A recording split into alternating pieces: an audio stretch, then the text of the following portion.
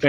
Para en acción con Robert Sánchez, Luis Sáez, esta tarde tiene compromiso en el San Davis con el caballo Litigate de Top Pleasure. ¿Qué me puede decir acerca de este ejemplar, hermano? Bueno, un caballo está trabajando bastante bien, lo he trabajado varias veces y anda en buenas condiciones. Esperamos que, bueno, tengamos una buena partida y, y una buena posición, a ver qué pasa. ¿Cuál es el estilo de correr del caballo, más o menos? Ah, bueno, pues, no sé, estar ahí entre medio de los caballos, eh, como salga.